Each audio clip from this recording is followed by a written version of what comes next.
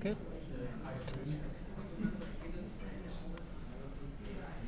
All right, let's get started, shall we? Okay. Oh yeah, my first note, some, some of you were asking about the project number two, the Gaussian elimination, the first version. That is supposed to fail on some of the examples. That's the whole point. And how you fix it is doing the Gaussian elimination PP.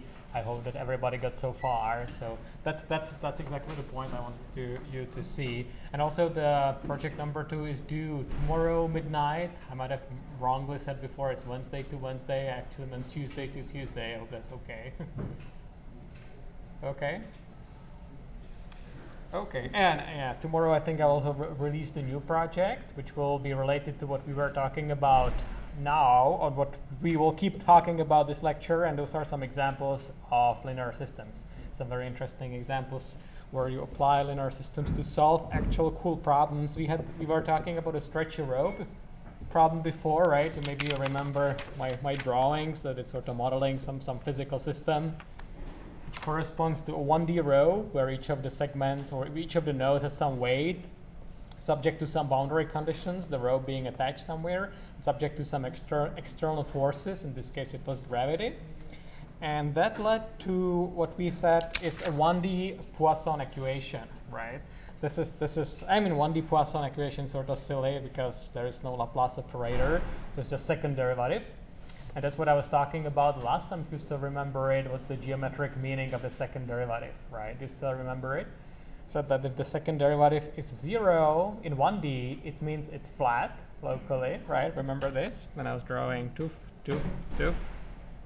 If it was like this, then I was saying it's if it's it's like convex shape function. I was saying it's uh, the second derivative is positive, and the opposite case when it's like this, the second derivative actually is negative. So the second derivative derivative tells you something about the curvature. Sharp enough? No, it's not sharp enough. Okay, better. And what I ended with, well, the problem was that, yeah, as, as, the lecture keeps going on, I'm getting tired after all the day, so I ended up doing a lot of mess. So let me clarify this mess. When I was trying to give you uh, a brief explanation of how this uh, stuff works in 2D, so that we ultimately build up to the full Poisson equation, I guess, or at least at least uh, the 2D case of the Poisson equation. So this is what I want to build up to, but, but because this might be too much, too much math to digest at a single slide, I was explaining it a little bit on the paper. And I made a little bit of a mess, which I would like to clarify right now. So let's uh, just quickly look at that again. So if I have a 2D function, so I have a function f, so there's a function of two parameters. So it's a function from the plane to r. Everybody see that? Everything is cool. So the way you can look at it is I have, I have my plane, which coordinates x and y, right? And every point of the plane, this function f assigns some value. So you can either look at it like colors on the plane or, or height field, some sort of terrain draw all over the plane. Like if you open Google Maps and click on terrain, you see some sort of terrain visualization. So you can think of the function f being some sort of height field terrain, if you will. And I wanted to connect, I wanted to uh, say what are the partial derivatives. So if I, let's, let's forget about those x and y's. If I pick a point, x and y, it's just some arbitrary point, let's say it's point here, then I can define these, these two functions, just 1D functions. This will be just fx, and this will be analogously fy. So the idea of the fx function is that I will basically look at my height field just at this point y.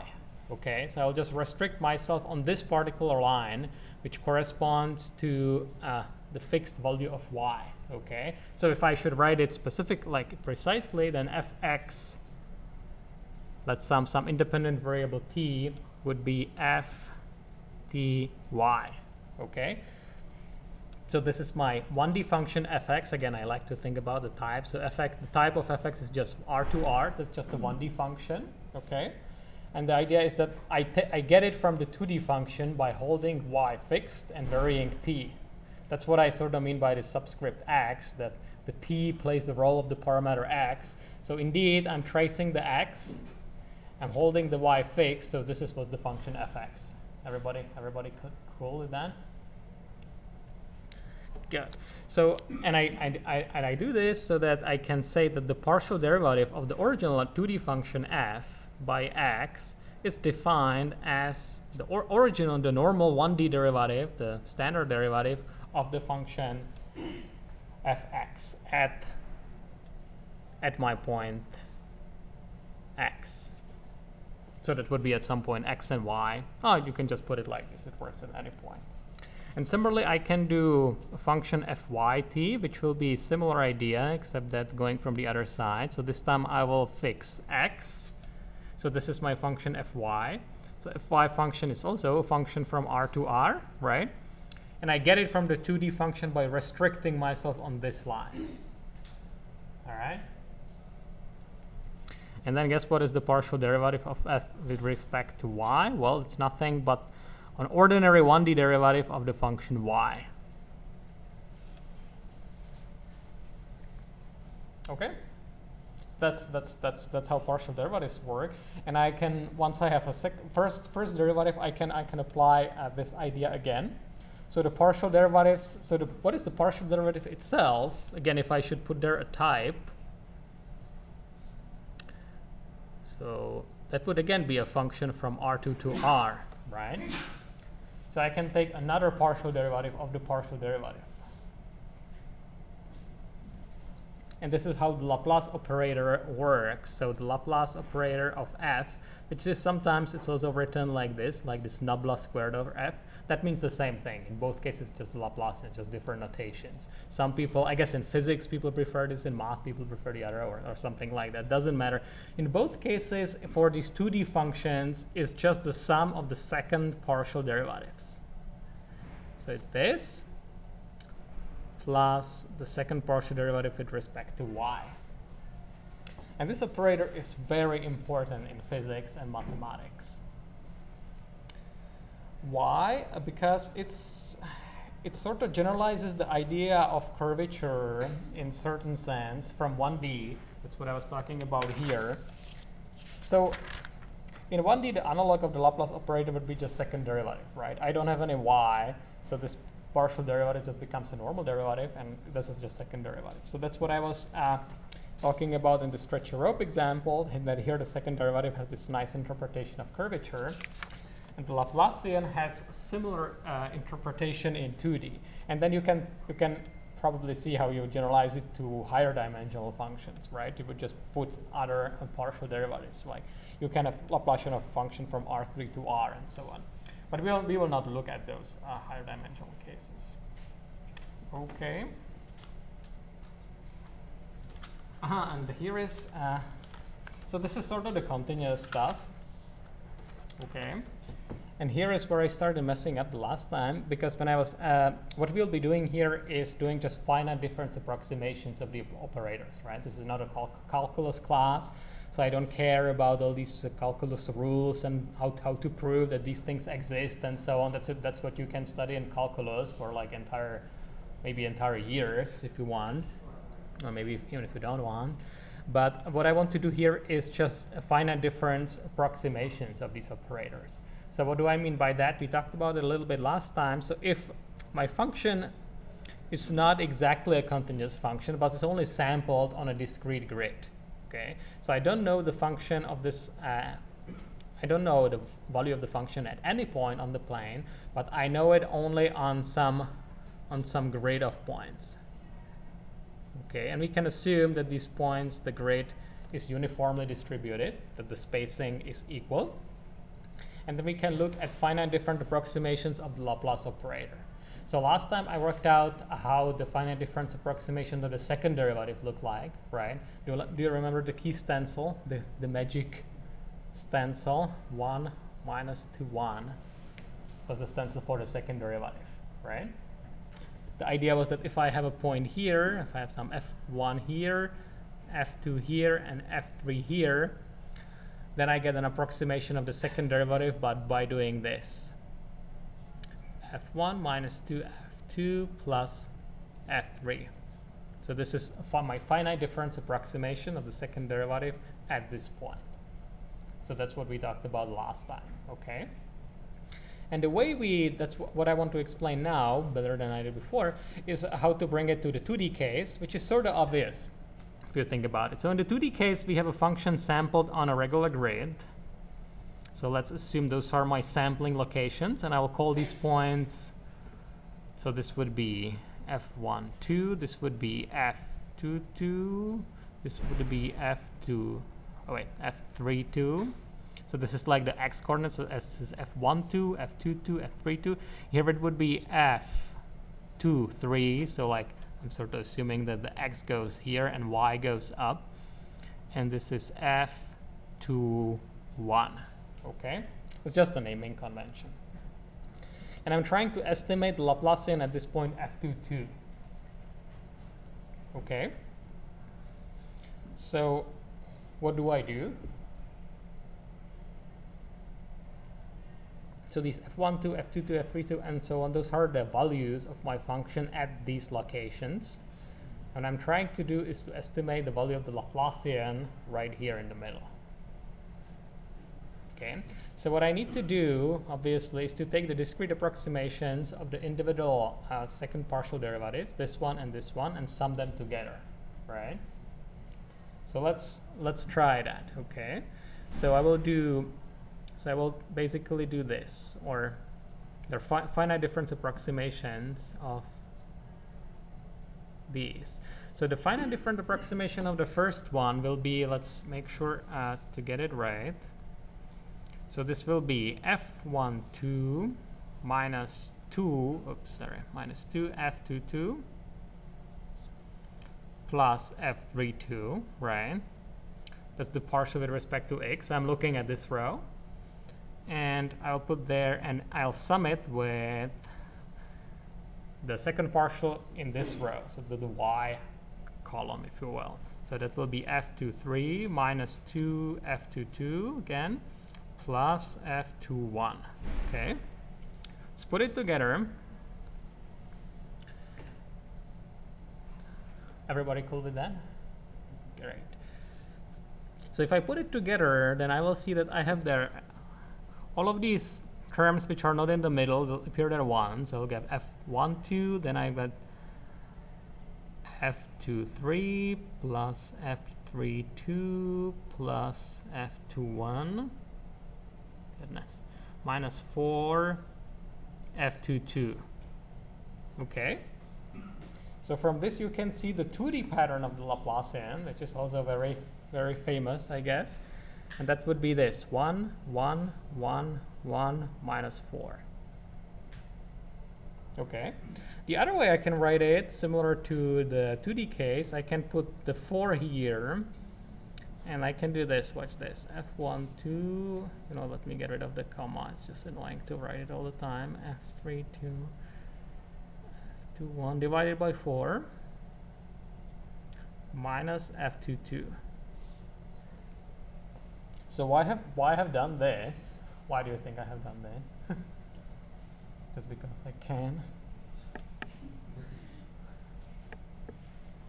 It's one reason. The other reason is that here you can see that this is the average of the neighbors of f22, right? So basically, the, the finite difference approximation of the Laplacian, I guess I could put Laplacian of f equals this, and I guess I should put like approximated, finite difference approximated with this. And the geometric meaning of this is obvious. It's analogous to the 1D case, which we discussed the last time. means I look at my neighbors, I compute their average, and I subtract it to my, from my value. Okay, and some some scaling coefficient here. This well, what is the h, by the way? As I assumed you you knew that. Do you? what was the h here? Exactly, that's that's the distance between these, right? I just assume that it's the same, so that the, this distance here is the same as everywhere. So that's that's basically my grid spacing. The point is that with finer and finer grid, the h would be getting smaller and smaller. Ultimately, I would converge to the true uh, value of the uh, of the second derivatives. Okay. So here, here is the intuition, which is which is quite quite nice. That all I need to do to get a finite difference approximation of my Laplacian is to look at my neighbors, compute their average, and subtract from myself. Okay. So here is a cool thing which only happens in the 2D case. Like so far, like the 2D was pretty analogous to 1D, right? But here, uh, the 2D case has some nice um, special properties. So let's let's think about the case where the second. Let's let's go back for a second to the to the 1D case, and let's say that I have the second derivative equals zero. Okay, we can I guess solve a funny type of PDE partial differential equation, which I guess in this case it's not even partial differential equation.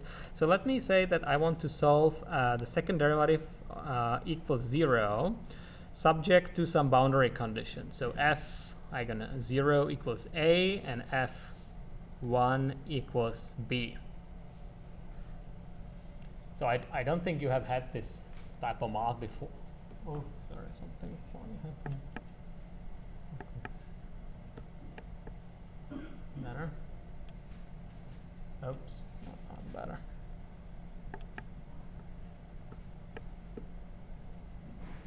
Okay, that seems to work. Oh, damn it. Why is it doing that?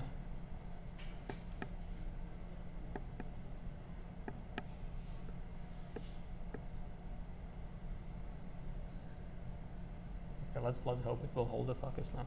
So what I was gonna do is put zero, I just fix the value somewhere. At 1, I fix the value somewhere else. So this would be my A, this would be my B. And what do you think is the solution? Of this, I guess this is a differential equation, right? But here we can just eyeball the result. You don't really have to do any math. because the, the discrete case gave you an intuition, how, how does it look like, right? Well, what does it mean for the second derivative to be zero? Think about it. So I'm only looking for a solution on this interval, right? So there must be some, I'm looking for some smooth, nicely continuous and so on function.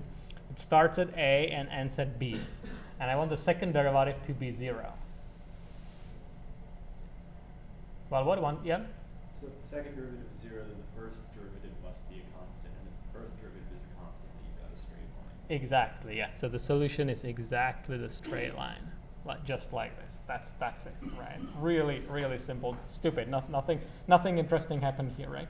In the discrete case, you have you have the exact. If I, by the way, I could have solved it by discretizing it, right? In more complicated problems, that's the only way you can really uh, solve it.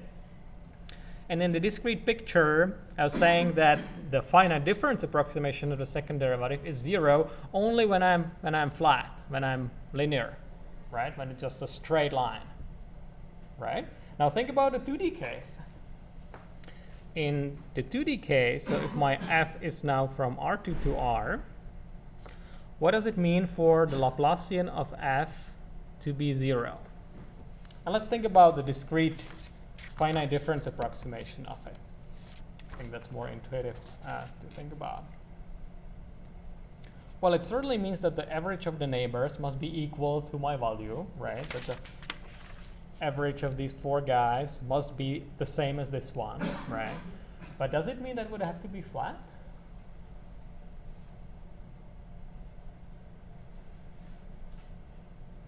Not really, right? Because the, cool, the, the funny thing is that the second partial with respect to x can compensate the second partial with respect to y, which is sort of cool. So here is, here is, an, here is a specific example. Here is an example. So if I have my uh, five points like this. Let's say that the value here is zero, so my my f22 is zero here. My f12 would be one. I would have one here, with minus one here, minus one here. Okay, so imagine it's some sort of height field. So one means like going pointing up, and minus one means like pointing down. Okay, so what happened here? The second partial with respect to x, that's how much? It's 2, right, if I'm computing correctly, right? So if I'm looking at an x, it looks like a locally convex function, right? If I'm looking at the y-axis, it looks like concave function, right? Oh, do you know these terms, concave? I mean, in, intuitively, it's like bowl-shaped or like hill-shaped, I guess. But here the second partial, the finite difference approximation of the second partial with respect to y is minus 2. So plus 2 and minus 2, well, this, this gives me perfect 0, right? And the function is certainly nothing like flat there. Okay? That's a cool, that's a cool difference between the 2D and 1D uh, Laplace equation. So that means if I, if I pose the problem in 2D, let's assume, let's assume I have a circle. So let's assume my domain is, a, is a, the interior of a circle. And I can specify some values on the boundary of the circle. I can specify whatever values I please. That could be like a, like a sine curve or, or anything really. And then I can so say solve for Laplace of f equals 0 everywhere on the interior of the circle. Everywhere here must be 0. And then you will get some, some very interesting function in the middle. This thing is called the harmonic function or membrane interpolant. And it's it has very uh, it has lots of cool mathematical properties, but also it's also like aesthetically beautiful because it really nicely smoothly interpolates the boundary values. Can you imagine it? Like imagine some sort of like drum, drum skin or something, where the surface of the drum is not flat, but it's arbitrary, arbitrary shaped curve. I guess let me try to draw it. So like if I have like a drum, but I, I decide for some reason that the boundary is not flat, but has some, some weird shape. Great in drawing this. And then you can sort of stretch the skin on the drum anyway, and see what is, what is the most natural state of the surface that's most likely characterized by the Laplacian of f equals 0.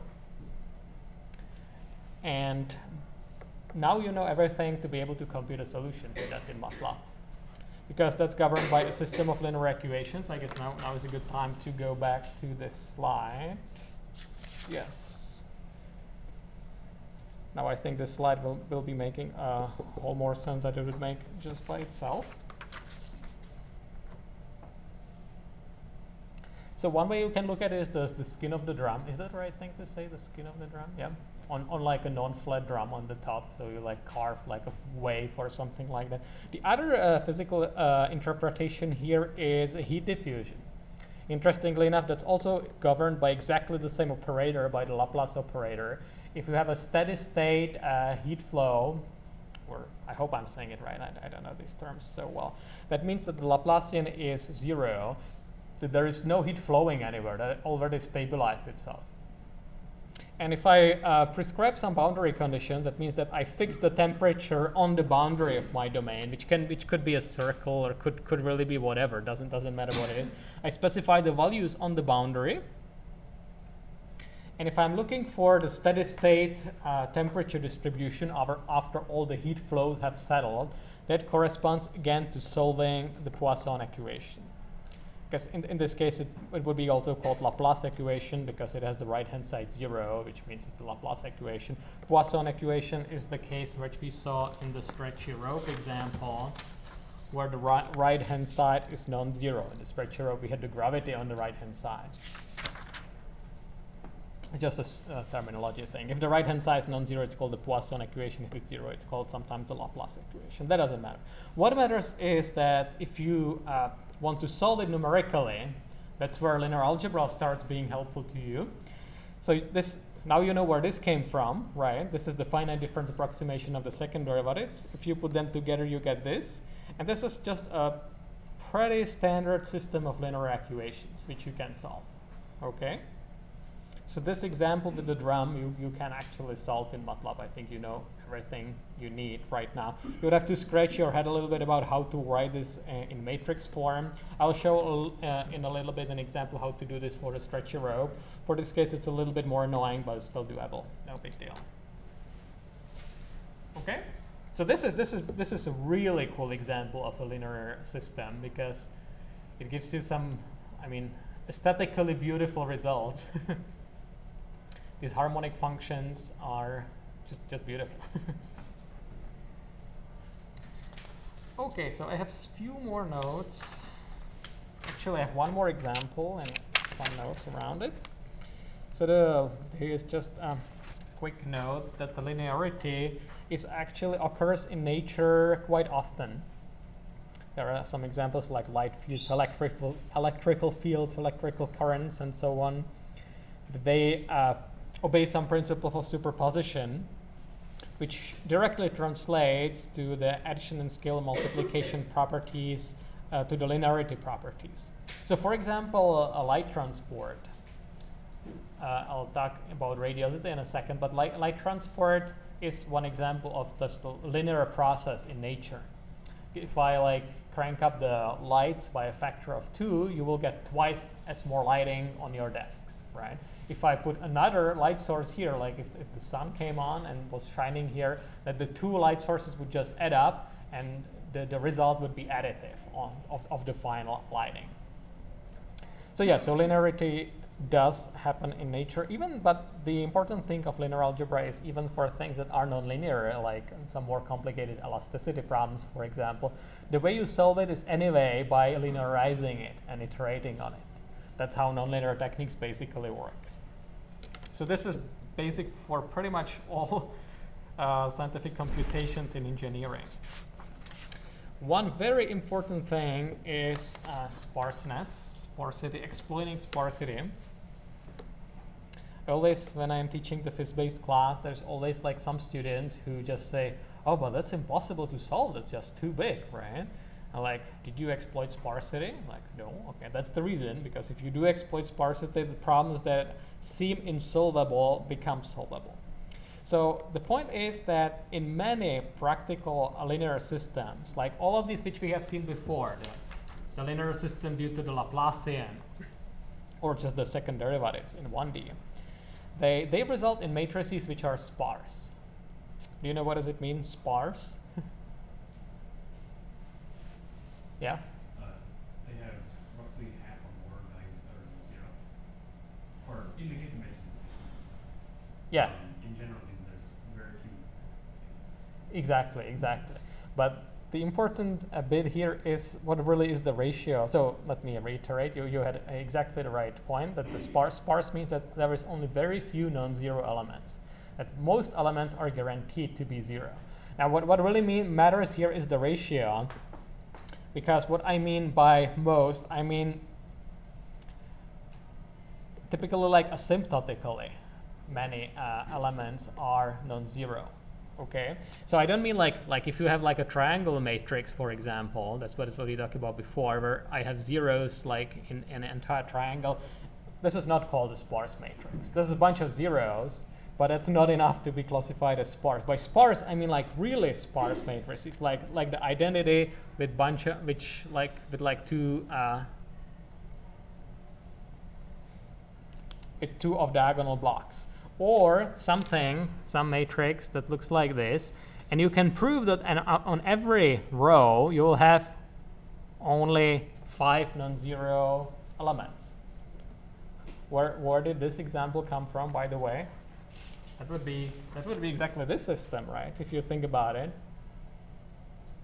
I guess if you think about it long enough, then you realize that the, the matrix that corresponds to the system of linear equations has the property that on every row there are only five non-zero elements. No matter how big the matrix is, that could be million by million system, but every row has only five non-zero elements, okay?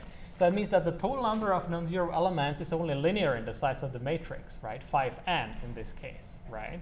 So what is the number of elements in general of matrix of size n? n by n square matrix? N squared, right? So the savings going from n squared to 5n, they are enormous. If you have data structures, if you store the matrices right, and if you do the computations with the matrices right. So exploiting sparsity is really the key to efficient computations. So you need to have special data structures to store the matrices in a sparse way. I guess that's the, that's the point, right? If you have some matrix which only has like maybe 10% non-zeros and like 90% are zeros, it's not really worth it to like uh, to really work with a, with a specialized data structure for sparse matrices. How do these data, data structures look like? Well, they basically they don't store the matrix as a 2D array, as is the default way in MATLAB. They basically store just the non-zeros, right? So there is some index structure typically telling you for every row I have index 5, 7, 9, there are the non-zeros and what the values are, okay? So those are, that's, you can imagine it's much more complicated to work with these data structures, so there is some overhead to it. So if your matrix is not sparse enough, it's not worth it. If it's only like 90% zeros, not worth it. Just, just use the dense matrix, it's gonna be faster. But if it's significantly sparse, like you only have like a constant number of non-zeros per row or per column, it usually doesn't matter because it's uh, symmetric in practical cases. In that case, you really do want to use sparsity, exploit uh, sparse uh, matrix data structures. And MATLAB has, has all this. There is like a special way to deal with sparse matrices. You might have, um, I probably haven't seen this yet. So you, you always need to convert. I mean, those are like two, two basically two separate um, libraries, I suppose. You can convert between the two. You can convert from uh, sparse to dense. But if you if you make some mistake and you do some dense calculation with a sparse matrix, it usually just like freezes your computer forever because it's so much slower. I hope I'm making some sense. Not mixing up too many things together. So let me give you a more concrete example that will that will give it some more sense. Our stretchy rope. That's where it, it's easily visible. Oh yeah, and the project two, uh, that will be something about splines. So there you will explore something quite related to this. So the stretchy rope, if you remember, the equations look like this. There's a system of linear equations, right? There are some boundary conditions, particularly simple linear equations. If I put it all together in matrix form, I get this. So this is the the matrix version of the system of equations, right? You can immediately see that indeed that's that's the right thing, right? I hope you already have your part of brain for matrix vector uh, multiplication developed, so you can immediately see that this means y1 equals 0. This means y1 times k minus 2k y2 plus y3k equals mg. So that would be exactly this formula for um, y2, right? And here it keeps going. This would be the y2 times k minus 2k y3 plus k y4 and so on until I hit the final boundary condition. Remember the stretchy rope which was like attached to these two uh, concrete pillars or something. So those are the boundary conditions. And here you can to totally see this is a perfect example of a sparse matrix. This is actually even better than just sparse because this even has a structure right? Do you see the structure? It only has a diagonal term. So it's like almost diagonal matrix with just two off diagonal bands, I guess. This is called a, a banded matrix.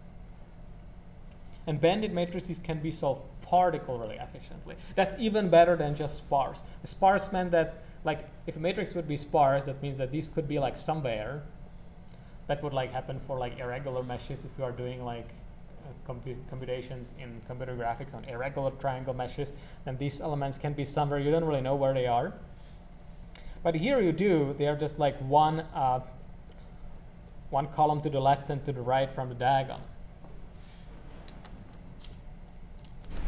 So in this case, the solve, even if you have like really large instance, even if you have 10 million stretchy rope, you can still solve it efficiently if you take advantage of the structure of the matrix. So if it's, if it's the banded matrix, that means you are in luck because you can solve it very efficiently. Because in this case, uh, the LU factors will also be banded. So what does it mean? The L factor will look like this. the L, remember what was the L, U? Lower, upper, triangular, right? That's why it's called L and U, so it's convenient for you to remember this. So the L factor will look like this. So there'll be the diagonal. There will be some off diagonal terms, just one column to the left from the diagonal. It would be the L factor. The U factor will be similar idea. It will be again diagonal. Something here. And zeros everywhere else. Zeros, zeros, zeros, zeros, zeros, zeros. So that means that the back substitutions, everything here is going to be linear. All the computations are going to be linear. So that means if you have a 10 million or maybe a 100 million stretchy row problem, you can solve it on your laptop, no problem. And yeah, and the, I will actually, I think I will put this in the second project. We'll be doing splines, and I believe it will result in similar type of matrices, which you can solve very efficiently. Or MATLAB can solve it very efficiently for you, but the, here is why.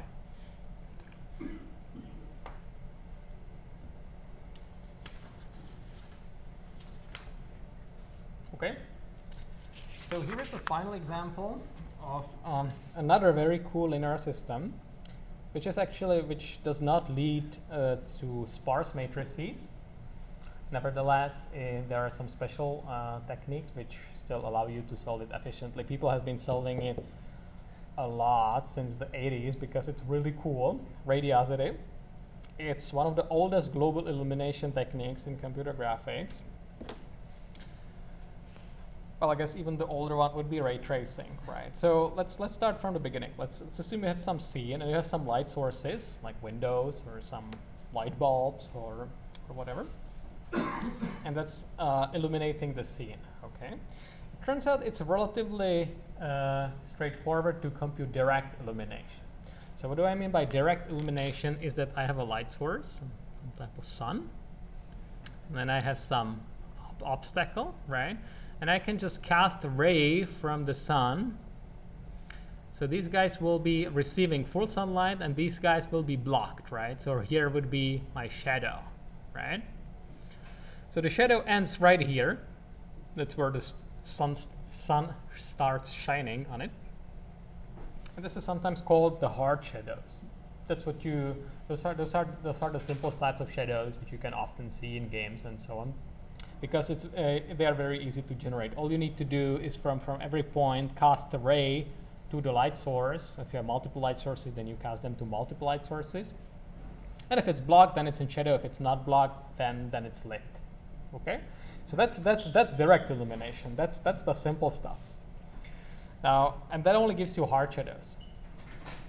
If you want to uh, get something that looks nicer, smoother, more natural, then you need to consider the multiple light bounces. You need to consider the fact that there might be some other walls in the scene, and the light, when it hits the wall, actually bounces off, and maybe bounces here, and maybe eventually arrives there, right? and the light actually bounces infinite number of times even uh, except that every bounce sort of absorbs a little bit of the light so depending so then you can study the reflective properties of the surfaces and come up with with a model uh, which models the light transport in your scene and computing sol solving the entire light transport problem that's called global illumination and that's how you can get some nice lighting effect that gives you nice smooth shadows it's not, not the most beautiful uh, example, but I think it gets the idea. And one of the basic techniques to do this is radiosity, which, guess what, leads to solving a linear system. But I guess I first need to explain about a little bit what it is. So it's a finite element technique. So what does it mean? Do you have some understanding of what a finite element technique? I guess the uh, simplest explanation would be that what I do basically is discretize my scene into small triangles. If you have done anything in computer graphics, then you know that pretty much all the models there are tessellated into some triangles. I guess here would be another. So all the surfaces of my scene are uh, triangulated. And then I say that uh, the radiosity I'm computing is a linear interpolation of the values on the vertices of the triangles. Okay, so I have a, if I have a triangle, so all my scene is built from triangles. And on every triangle, I have some values, f1, f2, f3. And inside the triangle, I can just do, for example, barycentric interpolation or some, you know, don't, don't worry about this. I would have to probably explain a little bit more. I don't want to go into that many details. You can imagine that you can interpolate these three values anywhere inside the triangle and get some nice continuous function. That's, that's the very basic idea of finite element technique. Or even, basic, even more basic one would be you would say that the entire triangle has a constant value. And the value that corresponds to the amount of light the, this, this little patch uh, emits to the scene. And the whole point of the light transport is to compute the final, I guess, radiance, we call it, uh, or brightness value between 0 and 1, when 1 means like almost all white and 0 means completely dark, if, you, if I should put it simply. And you want to relate this to the intensity of the light sources and the, the reflective properties of all the surfaces. Because if you have some really diffuse surfaces like black velvet or something that's not reflecting too much light, if you have something mirrory and highly polished that's reflecting light quite well. Okay? This is the main idea, this is the basic idea of radiosity, which leads to another interesting type of linear system. And solving that linear system gives you this beautiful global illumination effect. So people spend a lot of time thinking about these particular type of linear systems. So these patches are these little triangles I, I uh, drew before, and the equations for radiosity have this form. So let's let's talk about a little bit what these symbols mean to give you um, to give you the idea what, what this equation basically is trying to say. So the BI is the radiance of the patch. You can think about it, that's how bright it is. Okay, the total amount of energy, light, light is energy, as a total number, uh, amount of energy it emits. Okay.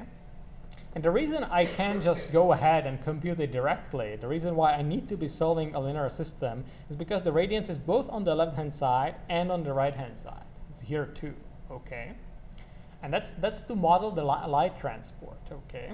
So let, uh, let me, I guess let me first explain the, the symbols and then we can think about it a little bit more. So the easy one is the E. That's, I think E means for uh, emit emittivity, emissiveness, emission, something like that that's the energy actively emitted by the patch. So that means that's only non-zero if the patch is a light source, okay? So if my patch corresponds to like these light sources when, or, or the projector or something, then the EI would be positive. That means there is some energy coming out of this particular patch. That's the easy one, right? The interesting one is this one. So this one, uh, those are the, the BJs are, we are summing over all patches. The BJs are the radiances of all the individual patches. And the Fij is the form factor, or sometimes called configuration or view factor or something like that. In, in any case, it's basically a measure of how well two patches, I and J, see each other. Or more, more accurately, so the fraction of the energy leaving patch number J and reaching patch number i. Okay, so let me give you, I guess, let me give you an idea. If I have two patches, so there's one patch with this normal, there is another patch with this normal. So this, this is my i, this is my j. Then the form factor fij between the two, what do you think it is? Is it big or is it small? And if there is another case like this, I have one patch, it's looking like this, there's another patch, just pointing this way. So here, this is my i, this is my j. What do you think is the form factor ij here, as opposed to here? So the idea is to, I, am not going to do it properly. I would need like probably a whole lecture to explain this properly. But the idea is the fraction of energy leaving one patch and arriving on the other one. So where do you think it will be bigger? Left on the right. Yes, yes, here, certainly. Because intuitively, these two patches can see each other much better, right? If there will be lots of light coming from here, probably lots of it will go here, right? Here, the opposite case, right? I guess if they are pointing completely away from each other, if it would be something like this, one would be pointing like this, the other one would be pointing like this, it would be zero. Or if it's completely blocked by some obstacle, then, then it would be zero. So this form factor basically accounts for the geometry of the scene. It only depends on the geometry of the scene, doesn't really depend on the lighting, which is sort of cool because it's constant for, for the scene. Can be changing your light sources, the, this Fij will not change. And what this means basically, go over all patches, take the radiance of each patch, multiply by the form factor, sum it all together, and then multiply it by Ri. That's the last symbol I need to explain. The Ri is the reflectivity of the patch. So that basically describes how mirror-like the patch is. If the patch is highly reflective like mirror, then the Ri will be high. If it's um, matte, if it's not reflective, it absorbs all the light that hits it, then the Ri will be low or zero if it just absorbs everything. Okay? So now you know everything. So this, uh, this uh, explains this uh, describes in mathematical terms the light transport in the scene. And what we are solving for are, are the B's, basically like the, like the steady state of this, that's, that's, where, that's where it settles.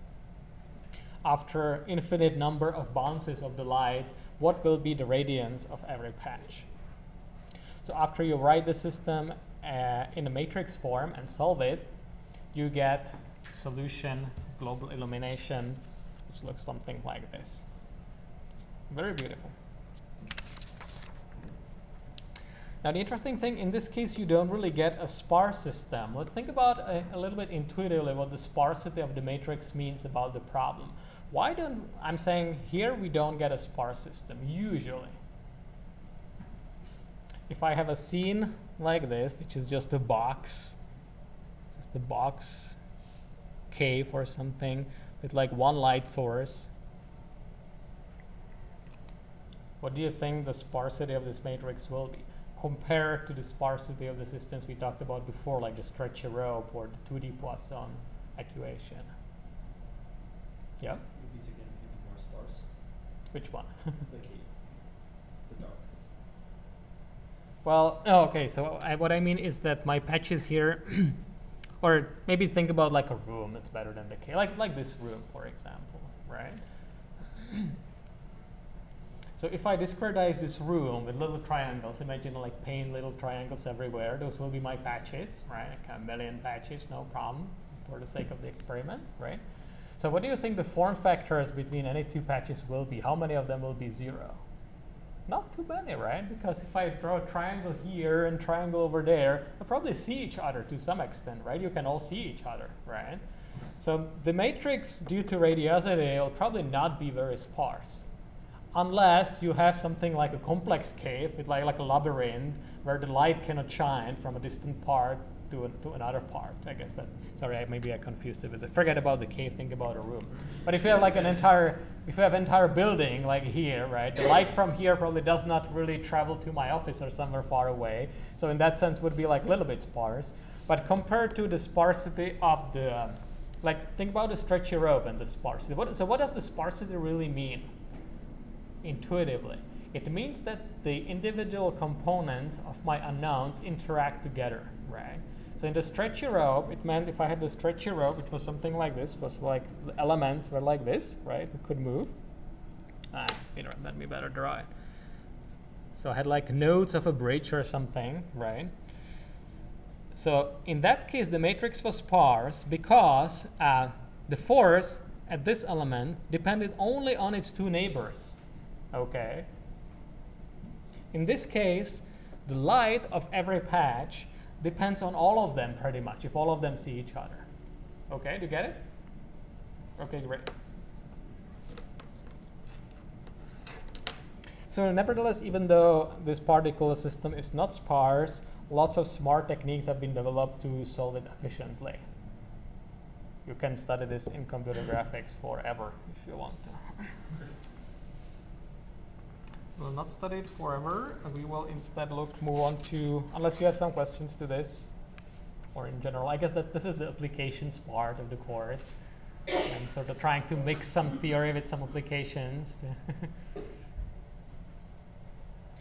so if not, then we can move on to a little more theory, I guess. Not very difficult theory, some more uh, matrix uh, operations.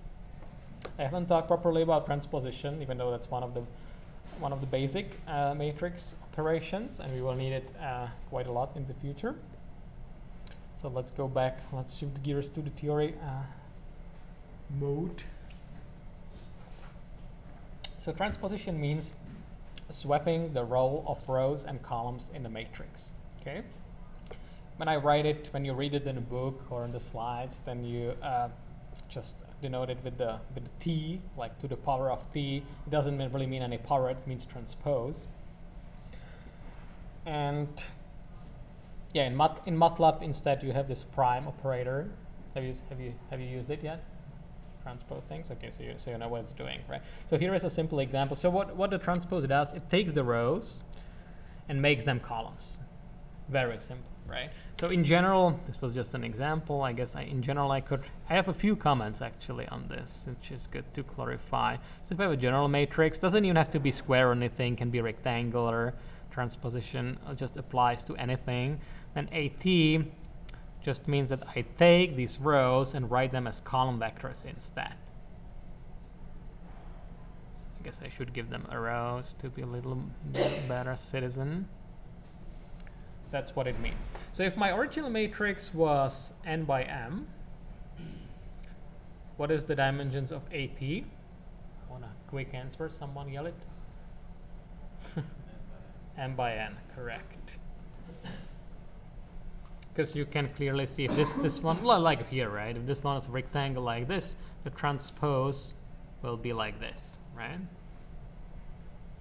And I guess you could also write it, so if I was to define it formally, that the element i and j of the transpose matrix is the j and i element of the non-transpose matrix. Okay?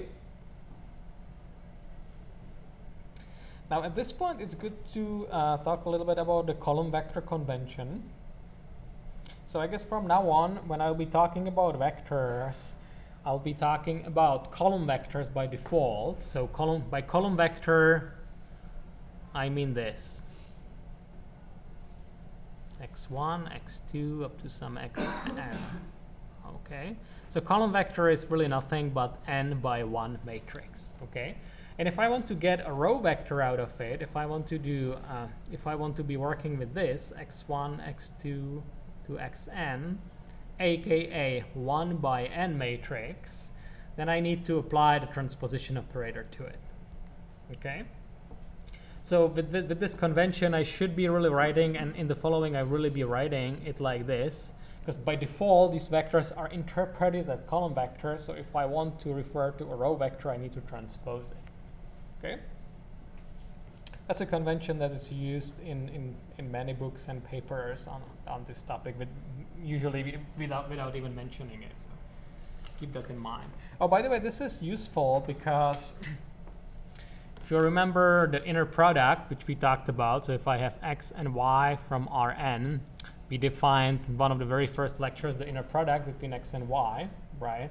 And using the transposition, I can just write it as x dy. Does everybody see why?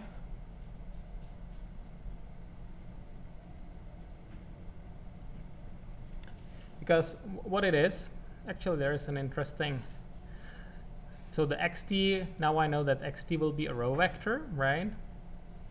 y will be a column vector. They both have the same dimension, so this would be um, 1 by n matrix. This would be an n by 1 matrix. So the result will be what? 1 by 1 matrix, just a scalar, right? And I get it by. So the nice thing is that the matrix matrix product basically gives me a product. So I don't really I don't really need this special notation for the inner product anymore. I can just be writing x dy and referring to standard matrix multiplication. That's how you can do it in MATLAB too. I guess that's why in MATLAB you don't have a special thing for inner product because you can just do it this way.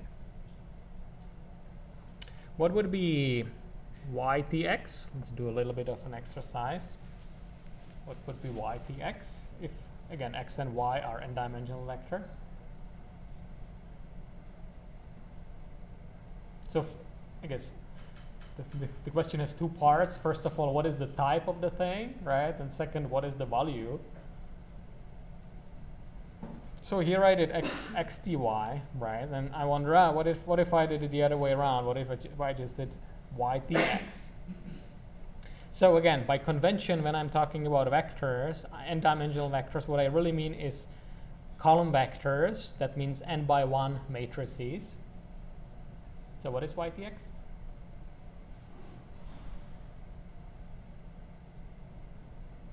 It's not, there's no trick there, let me just tell you that much.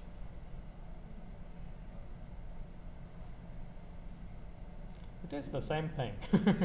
because ytx, by definition, it would be the dot product of yx, which we know that's the same as xy, which, which is xty, right? If you, if you just write it out like that, so yt would be a row vector, x would be a column vector, you compute exactly the same thing as here.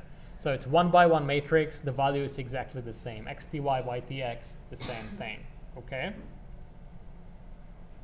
The other way you could see, if I, eh, it's sort of silly, but if I have a one, one by one matrix transposed, what is it? Well, the same thing, right? Transposing one by one matrix is the only case that doesn't really do anything to it. It's trivial, but it's actually used. now, here's a slightly more interesting uh, question. What would be, I don't want to go away from this, what would be x, y, t? So again, x and y are n-dimensional vectors, meaning n by 1 matrices. So what is x, y, t? So first of all, the type.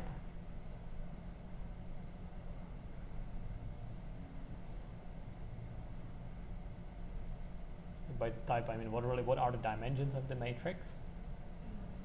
n by n. That's correct. Yes. So this would be an n by n matrix. It's a funny type of matrix product if you think about it. X is a column vector. Y is a row vector, right? So this will. So this is. Uh, sorry, n by one. One by n. So indeed, it has to create an n by n matrix, right? And how it's created? Well, I'm taking scalar multiplies of this of this row, right? By this this value, this value, and so on.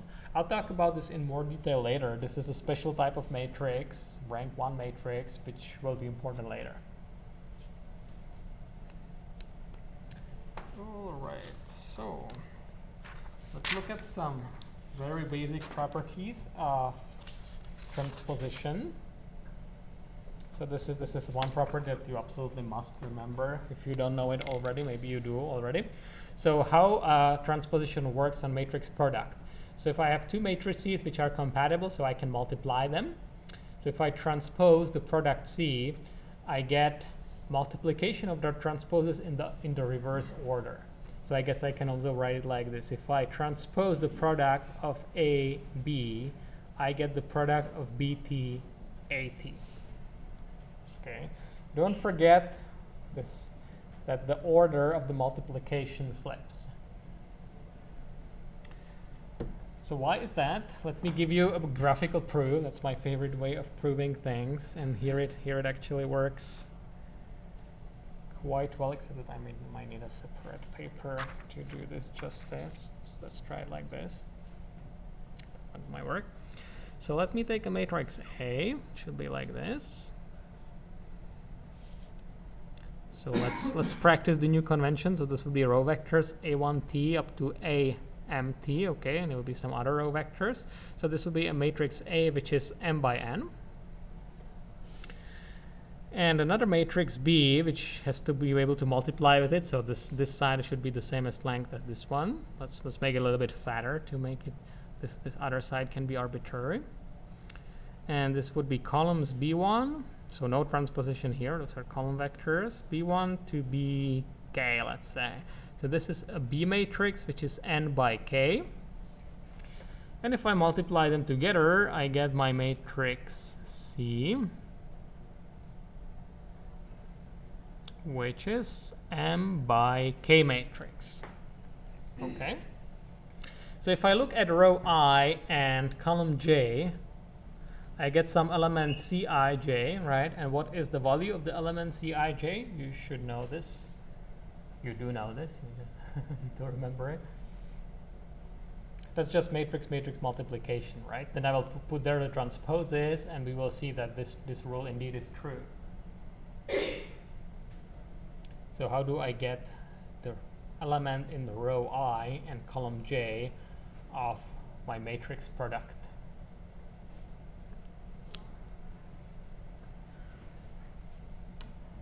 I guess that's the mental picture of matrix multiplication I would like you to develop in your brain.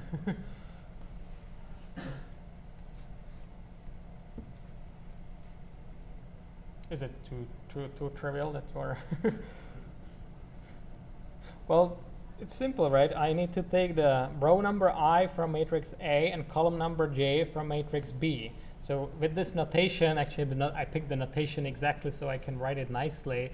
So it's the dot product of AI transpose and BJ, right? That means ith row from A with jth column from B. That's BJ, that's AI, that's, that's the value. That's a different way how we could write matrix matrix product, okay? So let's, let's uh, write the transpose matrices. So let me transpose B See if I can get the dimensions approximately right. So this would be my B transpose. So what are the dimensions of B transposed? That's right. And the values will be B1 transpose, right? That would be the first row. And the last one will be BK transpose, okay? Let me now transpose A.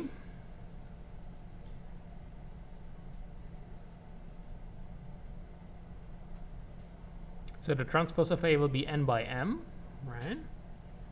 And what I will have in the columns will be A1 up to AM vectors.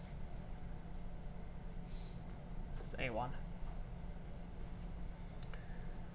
So I'm in luck. I can I can multiply it, right? If I multiply it, I will get a k by m matrix. Let's call it D.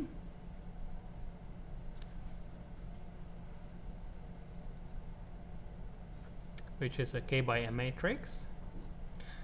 And let's say, for strategic reasons, let's say if I take row j and column i, so there will be some element dji, what I will have there, dji. It's exactly the same idea as before, right? So let's let's get the indices right. Does somebody dare to say it? no? Just about not messing up the indices, that's all it's about. So I said I want column, uh, sorry, row number j, column number i. So that means I have to take row number j from B, right? That would be bj transpose. And column number i from matrix A, aka AI. I probably should not be saying aka because it's all making it more confusing. And you know that this is the same as doing AI transpose bj, right? Ah, but that's nothing but Cij, see that? So indeed, this matrix is nothing by the transpose of this. In other words, D is just C transpose. That's exactly what I wanted to prove. But if I multiply the transposes in the opposite, oh sorry, it was supposed to be AT. The transposes in the opposite order, and on transpose, I will get the same thing. Uh, in other words, A, B transpose is B transpose, A transpose, and here is why. Got it?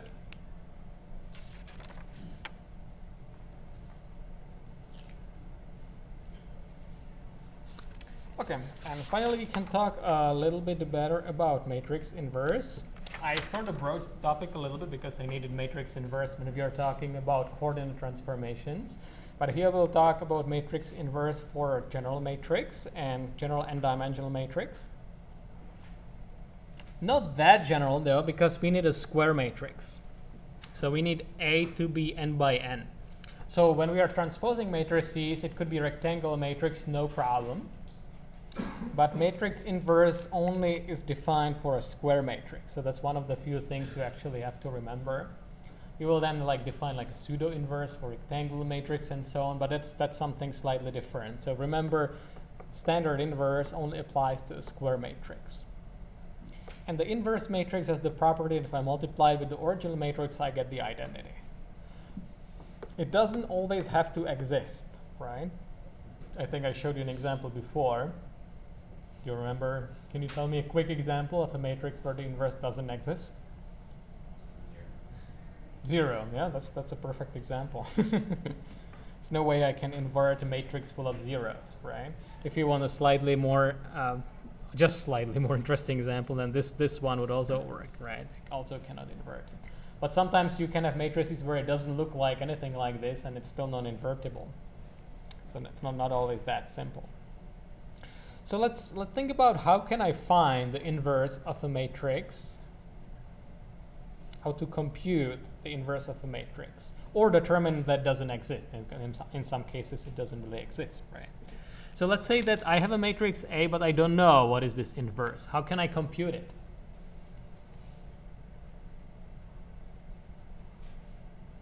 Well, think about it. So let's draw a diagram of the situation. So here A is a square matrix, n by n. Here is an unknown matrix that's going to be the inverse, but I don't know what it's going to be yet. So I'll just say it has some columns x1 to xn right? It's also going to be n by n matrix, by the way. The, the inverse must have the same dimensions, of course. And also, also needs to be square matrix because it's i, that means an n by n identity. Oh, I thought it was clear. I hope it's clear. So this needs to give me the n by n identity. That means this. Let me write it like this, actually. Will be good.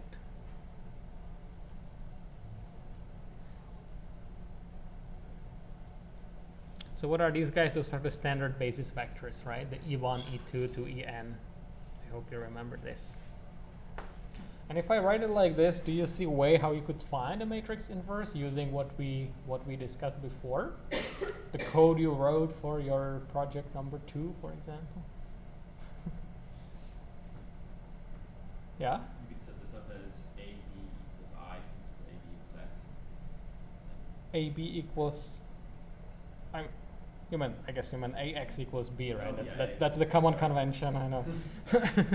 yes, that's exactly the idea. Because you the I guess the only trick here is to remember that matrix metric multiplication I can break it down to multiplying individual columns of the matrix. That's why I also wrote it like this, right?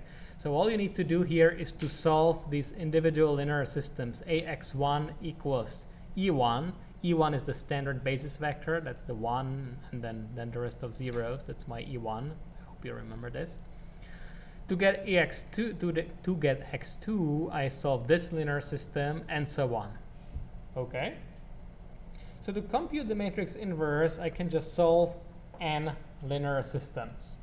Okay, so if I was in MATLAB, I can just do x1 equals a backslash 1 zeros, x2 would be a backslash 0 1 zeros, and so on. Okay? Now, one thing, what is the inverse immediately useful for? It's, it's the solution operator of a system of linear equations. So what do I mean? If I later come and give you a system of linear equation ax equals b, if you have already taken the trouble to compute the inverse, you immediately can tell me the solution, right? Because I can do a inverse a, x equals a inverse b. This is identity, that means that x is immediately a inverse b, right? So the A inverse just applied as a linear transformation to the right hand side. That's what I meant by solution operator. If I just take the right hand side and, and apply to A inverse, gives me immediately the solution. Okay?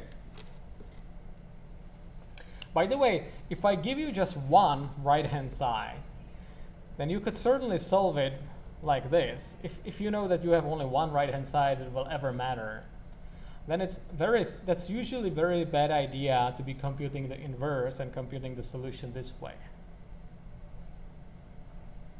Why is that? Because as you can see from here, by computing the inverse, you actually compute the entire solution operator. You compute the solutions for all right-hand sides. You, cause you sort of see it here, right? You sort of, this, this, this is basically a basis of the space of all possible right-hand sides. And the solution operator means the individual solutions for the individual standard basis vectors. So the A inverse is computing much more than just one solution of a linear system. In a sense, computes all solutions to the, to the linear system for all possible right-hand sides. So usually numerically or efficiency-wise, it's usually a bad idea to compute the inverse. And it's particularly bad idea if your system A was sparse. Because even for a sparse system, unless it's very special type of sparse system, but for most sparse systems that you encounter in practice, the inverse is actually not going to be sparse at all. It's going to be dense.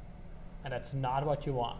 Because if this matrix was a 10,000 by 10,000 matrix, only had like five non-zeros per row, it was a 50,000 matrix, but the inverse would be how much? It would be 100 million values, right? So you don't, you don't want to do that. That's why there is like an entire industry of sparse direct solvers that let you solve uh, sparse systems like this without ever computing the inverse. But I guess I'm thinking of myself. so here is an example.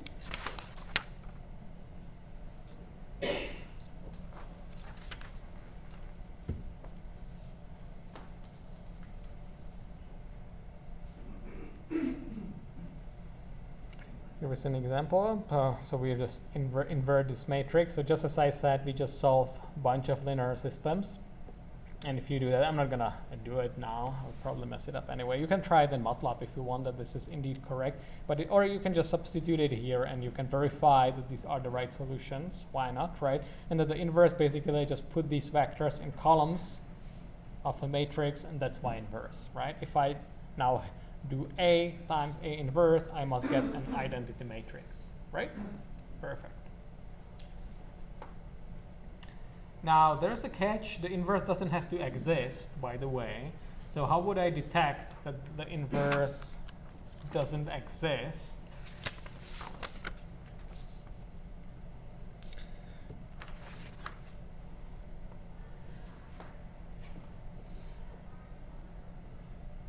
So uh, what do I need to do? I would have to run Gaussian elimination with partial pivoting.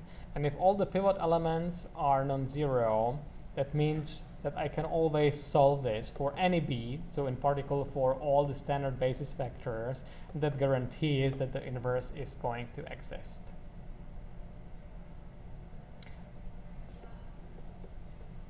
Okay, and there's a last thing which is analogous to the transposition operation, how to invert matrix products. So if I have a product of matrices A and B and I want to invert the thing, so C is A times B and I want to invert C, that turns out it behaves similar to the transposition. So I can invert the individual factors individually, I can do B inverse A inverse, but I need to flip the order. Why is that? That's, that's sort of obvious because if you take the B inverse and A inverse and multiply with AB, due to matrix multiplication associativity, I can write it like this. But I assume that B inverse is the correct inverse of B, so that's identity, right? Identity goes away, doesn't do anything, and AA inverse is identity.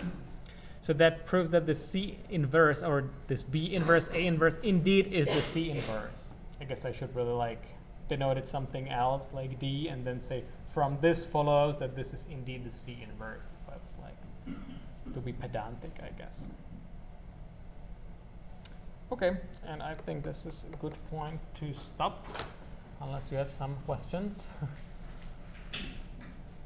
no? Okay, thank you very much. I'll see you on Wednesday.